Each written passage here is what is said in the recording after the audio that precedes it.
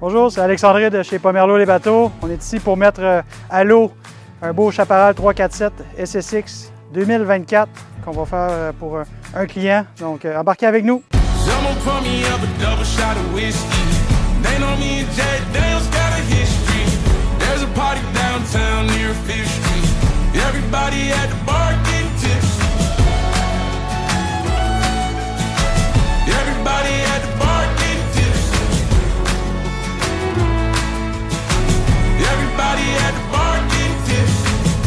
Bon, maintenant que la mise à l'eau est faite, il nous reste à tester toutes les fonctions du bateau. Donc, euh, on commence généralement par regarder l'instrumentation, s'assurer que les moteurs tournent bien, que le système de refroidissement est fonctionnel, qu'il n'y a pas d'infiltration d'eau dans la coque. C'est vraiment important. On met ce petit bébé-là à l'eau aujourd'hui. Il faut que ça tout soit parfait pour euh, le proprio qui va en prendre possession dès demain.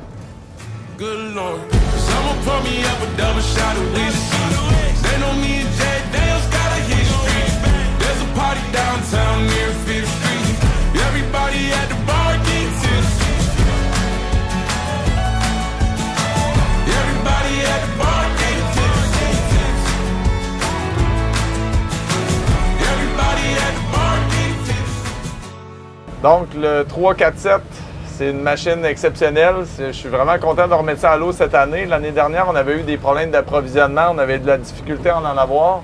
C'est un bateau exceptionnel. Ça se comporte comme un petit bateau. Donc, euh, quand même une belle machine. Mais euh, Chaparral a fait un excellent travail pour rendre cette embarcation-là très, très performante, fonctionnelle. On se sent vraiment à bord quand on manœuvre comme dans une embarcation de 22-24 pieds. Le bateau tourne agilement. Euh, on n'a pas des, sentiments de lourdeur dans les virages, même quand on fait un 180. C'est vraiment excellent.